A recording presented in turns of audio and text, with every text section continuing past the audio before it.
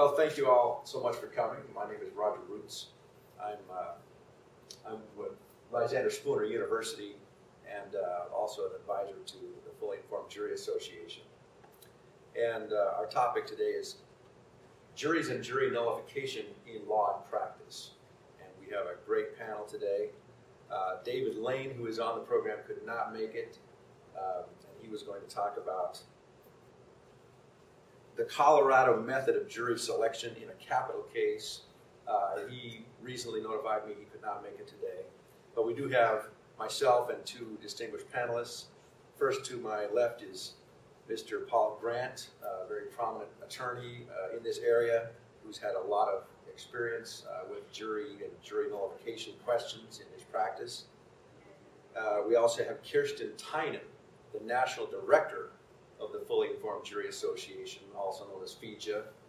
And she lives, like I live in Montana, I live in Livingston, Montana. She lives in Philipsburg, Montana. Uh, again, the Fully Informed Jury Association is the oldest and largest organization solely dedicated to informing jurors and educating jurors and potential jurors about their rights and their duties and their constitutional role as a, as a check on government. Anyway, I also am doing a paper. My paper, I think it's listed in the program as the government crackdown on fully informed juries. Um, and the Denver chapter is what I'm talking about. Uh, many of you may know that Denver is sort of ground, ground zero at the moment for some litigation that is happening nationwide. It's probably one of the most prominent locations for some actually civil lawsuits and some criminal cases that are happening right now and began in 2014. First, I, I always like to start with this quote from Thomas Jefferson. I consider trial by jury as the only anchor yet devised by man by which a government can be held to the principles of its constitution. And that is a very famous quote by Thomas Jefferson. It's been repeated many times. It's been repeated in U.S. Supreme Court opinions. Uh, the thing is, it's almost been rendered not true because today's practice almost bars jurors from keeping government to the principles of its constitution. Because in modern practice, at least in most jurisdictions and most criminal courtrooms, the judges falsely instruct the juries that they are not to consider the Constitution. They're not to read the Constitution. Many people are surprised at this fact. But in modern practice, many judges believe that they tell the juries what the Constitution means, if anything. The juries are not to look at it independently. In fact, I believe I've never seen a case solely like this, uh, you know, to totally on point. But I believe many judges believe that jurors are not even supposed to read the Constitution while they are deliberating because they believe that they are the source of the law. They tell the juries what the law is. The juries are supposedly uh, consigned to a lowly level of just being fact finders in modern practice. Um, government hates trial by jury. The government hates trial by jury. Uh, and why is that? Because let's say a tyrant, if, if, you want tyrannical government, a government that controls and sort of monitors and manipulates every aspect of human life, trial by jury is a fundamental problem you can't create a total tyranny as long as there is trial by jury. And so you see these must convict jury instructions, which are quite common in federal court, especially, and you see it in a lot of states as well, where at the end of a criminal trial, the judge will falsely tell the jury that if you find that the government proved its case beyond a reasonable doubt, you must find the defendant guilty. And it's simply not true. It's a lie.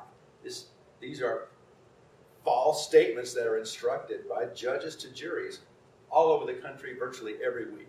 If you find that the government proved its case beyond a reasonable doubt, you must find the defendant guilty. And it's simply not true. By constitutional design, of course, going back hundreds of years, juries have always had the right and the power to act as a check on government and to declare anyone not guilty for any reason and to absolutely defy the state. uh, government also uses denial of the right to reference the law, including the Constitution. If a defense lawyer, for example, in a firearm prosecution or a drug prosecution, let's take a firearm prosecution.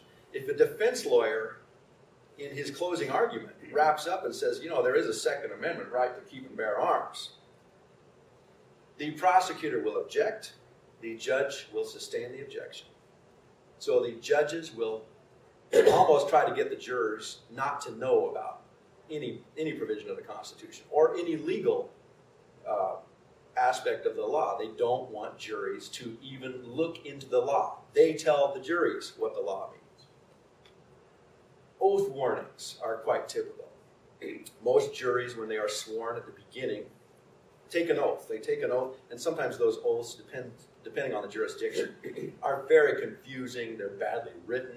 Some of them go back to the 1800s. I hereby swear to give a true verdict, blah, blah, blah, according to blah, blah, blah, as I'm instructed to do so, you know. Um, and then it happens frequently if a trial goes a few days or even a week. The judge at, at the end of the trial will lecture the jury. You will be violating your oath as a juror if you dare to consider, you know, to, to uh, disagree with me about what the law is. I tell you what the law is. Just think about the arrogance of this. There is discretion in all aspects of criminal justice. Police have discretion. They can choose not to arrest. Uh, prosecutors have discretion. They can choose not to prosecute. But government feels that it, it can tell the common people that they have no discretion. They must convict. Uh, and of course, jurors are kept in the dark regarding sentencing, which is almost the opposite of, of, the way that it was a century ago, when in many jurisdictions, juries actually sentenced uh, the defendants. Today, they are kept in the dark. They are actually, um, you'll be, if you're a defense lawyer and you, and you mention possible sentence, there can be an objection by the prosecution, and the judge will sustain the objection the jury is not to be told potential sentences. They're just to say not guilty or guilty. And if guilty, you know, then the judge, then the, the sentencing proceedings commence. And of course, frequently there today there is the problem of sentencing for acquitted conduct, which has become a big problem because there's so many indictments now. They're multi, uh, you know, multi-count indictments, and so it happens occasionally that a jury will feel that they are slapping the defendant on the wrist. They'll say, well, we'll, we'll declare not guilty of almost everything, but we'll find him guilty of what we think is a minor count. It happened in the Branch Davidian case in Waco in, what, 1993 or 4 so. The jury thought they were slapping the guys on the wrist and they'd get a year or two years in jail. Then that commenced the sentencing proceedings. The judge then, according to the sentencing guidelines that existed at that time, gets to rope in acquitted conduct, saying, well, now I get to evaluate the defendant as a whole. And by the way, oh, he actually sort of did do all the stuff that the jury said he didn't do. And so we will sentence him in accordance. I apologize. in accordance as if he had been, as if he had been convicted of the counts that the jury acquitted him of. And so you see that kind of problem. Anyway, uh, by the way, in a, in a, great case recently, that uh, Justice Scalia wrote a great opinion a couple years before his death, his recent death. Uh, what's the name of the case where they, they rendered the U.S. sentencing guidelines to be merely uh, advisory? What's the name of that opinion? Blakely, or not Blakely, but one of those. Anyways, uh, it's a problem that the courts are increasingly recognizing that the judges are, are sometimes at sentencing will rope in acquitted conduct and then sentence the defendant as if he had been convicted, thus nullifying the jury. And of course, what we're talking about today, jury nullification. Another major weapon in the government's arsenal is the suppression of jury information outside the courthouse. And to me, this is the most insidious uh, tool that, that prosecutors are increasingly using, which is that pamphleteers outside the courthouse who will do nothing more than pass out literature such as FIJA literature, Fully Informed Jury Association literature. Uh, FIJA has activists occasionally around the country who will go to courthouse parking lots and things and stand around outside courthouses and hand out literature. True or false? Did you know that as a juror you have the right to declare anyone not guilty at any time, even if the government proves its case? Do you know that you have the right to vote your conscience? Keep in mind, inside the court, courthouse, the judges will falsely tell the juries that they don't have the right to vote their conscience. And so prosecutors hate the transmission of this information, even on the streets, even on websites, even on, uh, you know, in public forums. I, I, get the sense almost that prosecutors would love to ban this, this thought, the thought that juries have the right to act as a check on government. Which brings us to the city of Denver, where we are.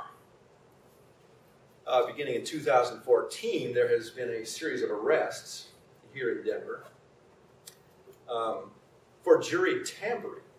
In other words, just the mere act, there have been a, couple of, of guys who have just, for the mere act of passing out literature saying that the historic role of the jury is to act as a check on government, will be arrested for jury tampering. And uh, as I said, Denver has become sort of ground zero. Uh, FIJA is actively litigating a major, uh, is it a class action lawsuit? It's an injunction and it, uh, just a federal civil rights suit. Federal civil rights suit um, to prevent any further arrests uh, on this, and it's currently being litigated in the federal court right here in the U.S. District of Colorado. Um, here you see some activists who are, you know, out front. Sometimes they are left wing, left right wing. They come from all all backgrounds. Uh, sometimes they are with Occupy Wall Street and movements such as that. And sometimes they are, you know, tax protesters, Tea Party uh, types. FIJA activists come from all, all places in the political spectrum. Um, this, of course, has been major news in the last two years. They've been arresting uh, leafleteers here in Denver for the crime of jury tampering. Now, of course, jury tampering is an ancient crime. Jury tampering is the crime of trying to influence a jury in a specific way in a specific case where you, you call up a juror, you go to a jury, you threaten, you intimidate, you try to coerce the jury into voting a particular way. It's an ancient crime, and of course, it's a crime that goes way back, and of course, who has a problem with that being a crime? The problem is that, you know, it, it sort of intersects with the First Amendment when they're trying to arrest people for jury tampering when all they're doing is passing out literature informing jurors and potential jurors of their rights. Uh, here are two defendants, uh, the main two uh, in Denver, Eric Brandt and Mark Iannicelli, who were arrested in July and August 2014 for jury tampering, just for handing out literature right here in Denver at the uh, the local city courthouse, which I believe uh, I was told is only five or six blocks away from where we are right now.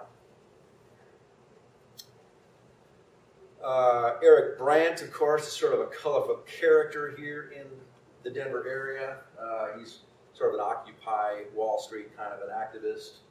And you can see him holding up a sign that says, uh, can we say this on YouTube? F-U-C-K cops. And he's wearing a shirt that says F-U-C-K cops. Uh, and I, uh, here's the, the picture I love the, the cop chasing after him, running after him. Great shot. Uh, the guy might have a flair for, uh, you know, the, the, the, theatrical. And of course, then you see him being led away in handcuffs. Uh, he is one of FIJA's, you know, an activist, and he's been arrested. The charges have been dismissed, and now I believe the prosecution is moving to on appeal to keep the charges going for jury tampering. Uh, Denver is not the only place where this is happening. In Michigan, there is another activist who is handing out this very brochure right here in front of a courthouse on a day when there wasn't even a jury trial going on inside the courthouse. Just literally handing out these flyers in public. He's been arrested initially for felony jury tampering. And I believe the, the judge initially posted a $150,000 bail, which he had to pay to had to pay to get out. My understanding is recently the uh, the court has reduced, or maybe the prosecution has reduced the the charge from felony obstruction of justice to a a high level misdemeanor jury tampering charge. But anyway, Keith Wood, he's currently being prosecuted in Michigan just for handing out literature in front of the courthouse in Mecosta County. So this stuff is actively going on. And as a criminal justice scholar, you know, I find this to be a topic that is understudied. Not there isn't enough people looking into this, doing research on it. Um, these quotes at the top you probably can't read. Uh, quote, the government is seeking to silence speech it does not like. That's David Kallman, who's the defense attorney for Keith Wood, the man arrested for jury tampering. You compare that to the prosecution's quote. Basically, the defense is saying a jury's a juror's oath does not mean anything. What a wonderful world. That's the Mecosta County, Michigan prosecutor. And of course, they constantly invoke this idea that there will be chaos if jurors are allowed to know that they have the right to, to nullify by jury nullification. Just chaos. Again, there is discretion everywhere in the criminal justice system. But jurors, the common people, are told they have no discretion. Uh, one thing that I that I find almost troubling, as, as just as a legal scholar, there is very little case law at the upper levels because most of the, these cases get resolved at the lowest levels. They get dismissed. And so, in fact, I, I will predict that these cases that we're discussing will probably be dismissed. They'll probably be won by our side, the, the fully informed jury side. And so, you know, you can only get case law at the appellate level that's written and published when you lose at the lower level. And this is a problem. And so uh, if you go to the FIJA website, which is fija.org, F-I-J-A.org, uh, there's this little uh, little page about about some of these cases. And again, these, these cases are almost always resolved at the lowest level, which means that there is not a lot of high level case law that has developed. Um, I'll just go through another a, a, couple other sort of big players in this game. Julian Heicklen, who is a, a retired chemistry professor from uh, University of Pennsylvania, I believe. Julian Heicklen was arrested at, at the federal courthouse in the U.S. Southern District of New York for jury tampering for handing out uh, jury literature. He was also arrested in uh, uh, Orange County, Florida, for handing out literature. He sort of travels around the country. In, in his retirement, uh, handing out literature about uh, jury rights. And he's been arrested many times. And of course, Julian is an old civil rights activist from the 60s, and he has uh, these great, you know, he fall when, when the police approach him, he falls to the ground and sort of, you know, and then they have to come and arrest him, and he's been, they've taken him to mental health facilities and everything else. And, why are you doing this? And, you know, but case in point about the case law is he won a big victory in the U.S. Southern District of New York in which a federal judge, Judge Kimba Wood, ruled for him in a great First Amendment decision, but it is a U.S. District Court decision, the lowest level, because she ruled, hey, he has a First Amendment right to hand this stuff out which means we don't get good case law in the U.S. Second Circuit Court of Appeals above New York. And so, you know, this is a recurring problem where prosecutors are still bringing these cases, prosecuting people for jury tampering, just for handing out literature. Um, and they're getting away with it largely because the law above is not well settled and not clear. Frank Turney, who is one of the original sort of FIJA activists in Alaska. Frank Turney was arrested for jury tampering in, I believe, about 1992 in Alaska for handing out literature, and he was convicted, and his his conviction was upheld by the U.S. Ninth Circuit Court of Appeals in San Francisco. But his case is very fact specific because he was doing more than simply handing out literature in public. He was uh, allegedly going among the actual jurors who had jury badges on. And he was going inside the courthouse and approaching them and talking to them and saying, call this number, FIJA's 1-800 uh, number to learn more about it. And so it was very fact specific, but he did get convicted and it was upheld. Okay, so these cases can turn on the facts. so long as the guy is just handing out literature in a broad sense, not in any way trying to alter the verdict or, or, or impact the verdict in a specific case, generally speaking, the First Amendment will protect it. Anyway, uh, all of this leads to my sort of research on this topic. I'm, I'm doing some preliminary research. My, my I, I'd love to, co- uh, to collaborate with anyone on this. Um, how common are claims of jury tampering associated with just handing out literature? I hypothesize that if you go back in time, you won't find many of these cases. The prosecution bar is almost trying to develop a doctrine. They're trying to develop a First Amendment exception. Probably in the last 20 years. It's almost as if FIJA, which started in 1989, has generated this movement among the prosecutors to create a First Amendment exception. And thankfully, that movement has not gotten far off the ground, but they, I believe there is heightened resolve. The prosecution bar is continuing to make these arrests. And so um, I would love to do some more research into the past just to determine, um, you know, how prevalent, who, where was the first guy who was ever arrested for jury tampering, just for handing uh, this literature out. And I would love to, again, collaborate with anyone. And uh, finally, I'll just say, uh, again, my hypothesis is that this is a, a theory of the prosecution bar that they are trying to develop into a almost a First Amendment exception, like the shouting fire in a crowded theater exception, like the um, defamation exception, like the to the First Amendment, the um, fighting words exception to the First Amendment. They are trying to develop a First Amendment exception for informing jurors about their rights. And uh, anyway, this, this is an area that has been understudied and it probably, I think, criminal justice scholars could benefit from really doing a lot more research into it.